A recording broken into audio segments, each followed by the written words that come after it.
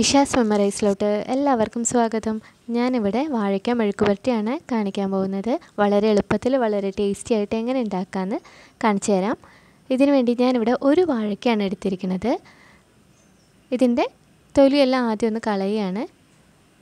ഇനി ഇത് ചെറുതായിട്ട് നമുക്കൊന്ന് കട്ട് ചെയ്തെടുക്കണം. ഇവിടെ ഞാൻ ഇതുപോലെ കുഞ്ഞു കുഞ്ഞു കഷ്ണമായിട്ടാണ് അരിയണത്. നിങ്ങൾക്ക് ഏത് രീതിയിൽ വേണമെങ്കിലും കുറച്ച് വലിയ ടൈപ്പാണ് വേണമെന്നുണ്ടെങ്കിൽ അതുപോലെ അരിഞ്ഞാൽ മതി. പക്ഷേ കുഞ്ഞു കുഞ്ഞതായിട്ട് അരിയുമ്പോഴാണ് അതിന് നല്ല ടേസ്റ്റ് ഉണ്ടാവുക. ഇവിടെ ഇതെല്ലാം അരിഞ്ഞിട്ടുണ്ട്. ഇനി ഇതൊന്ന് നമുക്ക് കഴുകിയെടുക്കാം. ഇനി ഇവിടെ ഉണ്ടാക്കാൻ തുടങ്ങാം. ഞാനിവിടെ ഒരു പാൻ വെച്ചിട്ടുണ്ട്. അതിലോട്ട് ഞാൻ വെളിച്ചെണ്ണ ഒഴിച്ചു കൊടുക്കുകയാണ്. നമ്മളിതിലോട്ട് വെള്ളമൊന്നും ആഡ് ചെയ്യുന്നില്ല. ഈ എണ്ണയിൽ കിടന്നിട്ട് വേണം ഈ വാഴയ്ക്ക വെന്ത് കിട്ടാൻ. ഇവിടെ എണ്ണ നന്നായിട്ട് ചൂടായിട്ടുണ്ട്. ഇനി ഇതിലോട്ട് ഞാനൊരു വറ്റൽമുളക് പൊട്ടിച്ചിട്ട് കൊടുക്കുകയാണ്. ഇനി ഒരു ടീസ്പൂൺ കടുക് ഇട്ട് കൊടുക്കുന്നുണ്ട്. കടുക് ഇവിടെ നന്നായിട്ട് പൊട്ടി വരാൻ തുടങ്ങിയിട്ടുണ്ട്. ഇനി ഇതിലോട്ട് ഞാൻ ഒരു ഇരുപത് ചെറിയുള്ളി ചെറുതായിട്ട് കട്ട് ചെയ്ത് ചേർത്ത് കൊടുക്കുകയാണ്. ചെറിയുള്ളി തന്നെ ചേർത്ത് കൊടുക്കാൻ നോക്കുക. അപ്പോൾ അതിന് നല്ല ടേസ്റ്റ് ആയിരിക്കും. വലിയുള്ളി ആണെങ്കിലും കുഴപ്പമില്ല. പക്ഷേ ചെറിയുള്ളിക്കാണ് നല്ല ടേസ്റ്റ് ഉണ്ടാവുക. ഇവിടെ ഞാൻ ഒരു ഇരുപത് ചെറിയുള്ളിയോളം എടുത്തിട്ടുണ്ട്. അത് ചെറുതായിട്ട് കട്ട് ചെയ്തത് ചേർത്ത് കൊടുത്തിരിക്കുകയാണ്. ഇനി ഇത് നന്നായിട്ട് ഇതൊന്ന് വഴറ്റിയെടുക്കുക ഇതിലോട്ട് ഞാൻ രണ്ട് പച്ചമുളക് കീറിയതും കൂടെ ഇട്ട് കൊടുക്കുകയാണ്.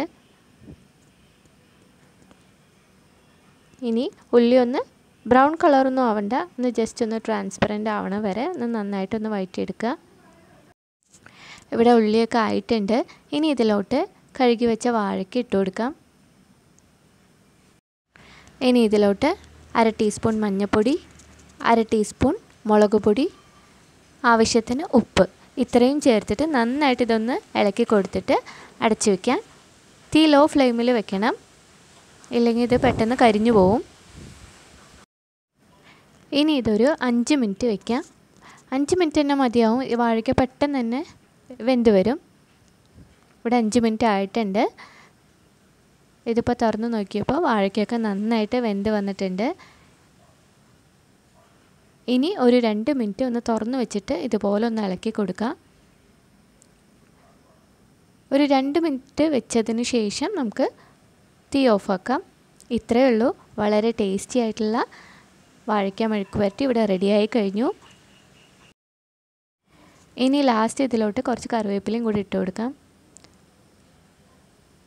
അപ്പോൾ ഇത്രയേ ഉള്ളൂ. വളരെ ടേസ്റ്റി ആയിട്ടുള്ള മെഴുക്ക് പുരട്ടി ഇവിടെ റെഡിയായി കഴിഞ്ഞു. എല്ലാവരും ഇതൊന്ന് ട്രൈ ചെയ്ത് നോക്കണം. എന്റെ വീഡിയോസ് നിങ്ങൾക്ക് ഇഷ്ടമാവുന്നുണ്ടെങ്കിൽ ഒന്ന് ലൈക്ക് ചെയ്യണേ. പിന്നെ സബ്സ്ക്രൈബ് ചെയ്യാൻ മറക്കല്ലേ. Thanks for watching